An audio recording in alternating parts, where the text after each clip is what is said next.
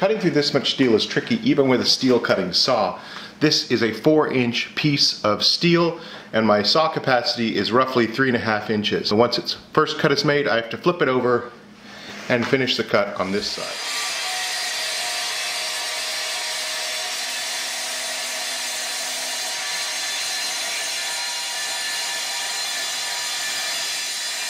So it's really nice. So the next operation I need to do is I need to cut this at a 30 degree angle. So I've added this auxiliary fence that puts the piece of steel out about an inch, which gives me a deeper cut. And I've added witness marks. I basically just turned the saw to 30 degrees in either direction and added these marks. And that way I'll be able to line it up after I make the first cut.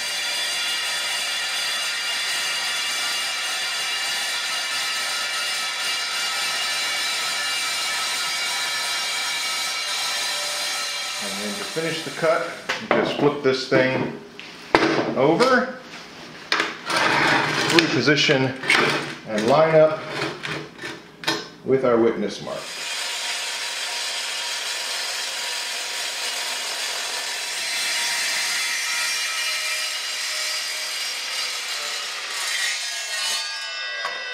We got a good clean cut. We cut them both at the same time, so I've got two pieces at 30 degrees each. What I need to do now is I need to remove this rust and scale. You won't get a good weld with rust and scale on here. And, and don't mistake that for experience because I have very little. I'm just aping what I've learned from others so far.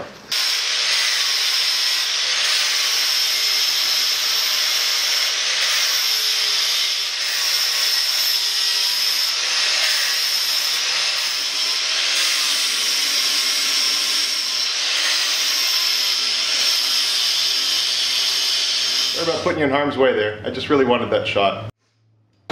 Okay, got this all clamped down and I'm just going to go ahead and weld these joints.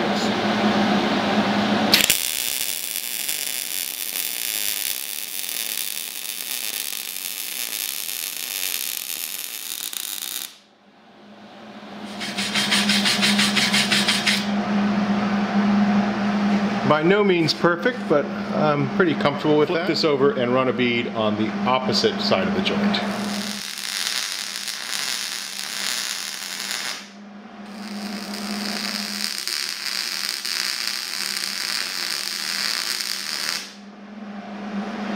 So I can see there's a little gap right here that I need to fill in, but this bead across here looks really good to me.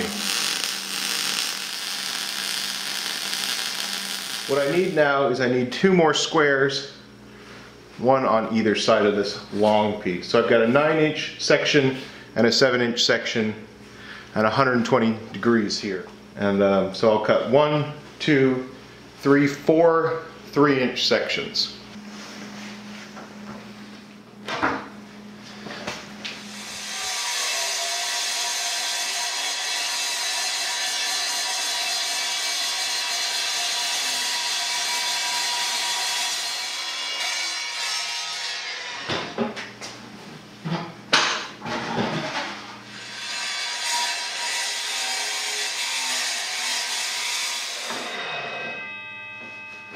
One.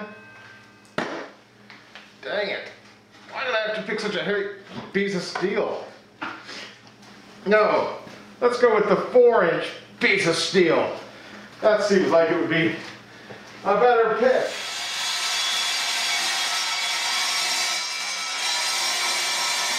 All done cutting steel for this project and I've still got about six feet left. So I'm gonna go put this in the corner of the shop.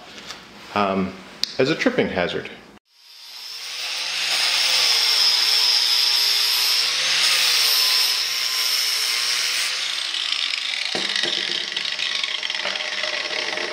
Alright, so now I'm going to go ahead and fire up the welder and tack that in place.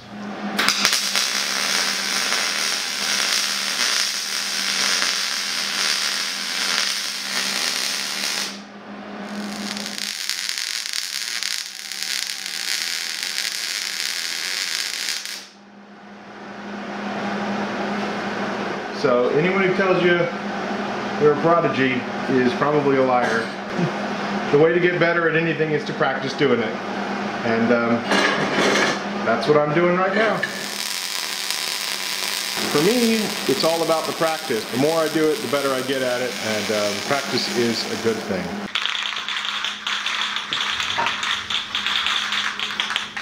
I'm going to start with a coat of primer, and once that dries, I'm going to come back and do a coat of paint.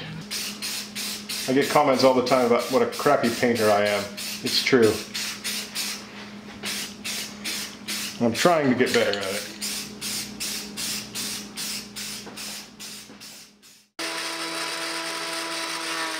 Apparently not all 4x4 posts are created equally, and mine were a little thick. Have you ever run an 8 foot post through a thickness planer? I have.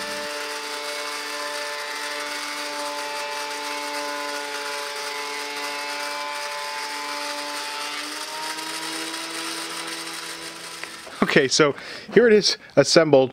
These are all eight feet, and as you can see, it's gigantic. But I needed to put it together so I could know how high to make each one of these posts. Standard hammock holder that you get from the store. This is four feet off the ground. Um, I've got plenty, so I'm gonna make mine five feet off the ground. Five feet, which is right here. What I wanna do is not try to do that from the other side. I'm gonna use this as the measurement for both. So I'm gonna cut this, and then I'm gonna cut that other post to match. So here's the cut that I need to make. And you can see I don't have the capacity to make that cut bandsaw. It, it just doesn't have it. So what you do is you just give it a little twist and we're just going to cut out this waste area here.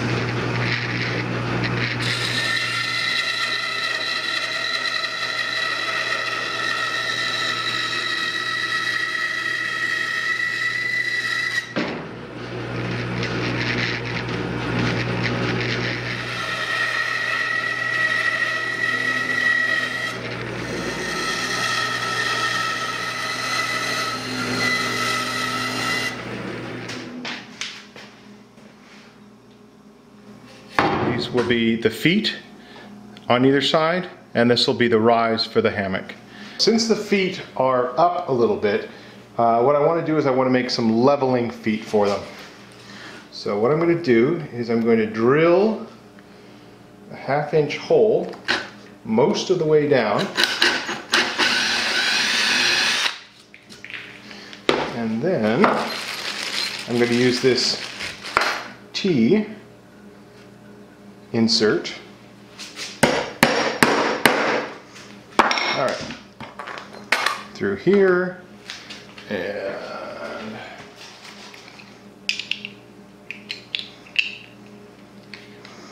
well, that's tightened in place. And then this can just be, and then we just thread this thing on. And now we can level these feet to whatever height we want and there will only be four points of contact and that will make for a much more stable hammock. So this is not its final home, we're actually working on redoing our backyard and it'll have a place in that. Let me show you a little bit closer what we're looking at. The main stability of this really does come from the steel, but um, this has been shimmed, so there's actually um, shims in here to wedge it in there tightly, and then I've got four screws through the steel and into the posts and you can see the other thing that I've done is I've added hardware for the hammock. The only thing holding up this hammock stand right now are those four leveling feet, and that makes this incredibly stable. I am extremely pleased with it. I'm very happy with my first attempt at welding. Um, I actually left in a lot of the welds, not just because I'm lazy, but because I wanted to make sure that I could look back on them and say, this was my first project. And honestly, for a first project, I'm going to call this a success.